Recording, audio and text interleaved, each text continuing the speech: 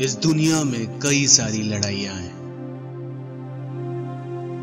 अंधेरे की उजाले से, सच की झूठ से, सही की गलत से। मगर सबसे बड़ी लड़ाई है अच्छाई की बुराई से। जिसे जीतने के लिए सुपर हीरोज की ज़रूरत होती है। पर सुपर हीरो वो नहीं होता जिसके पास पावर होती है, बल्कि वो होता है जो बुराई को मिटाने के लिए कभी अच्छाई को नहीं छोड़ता।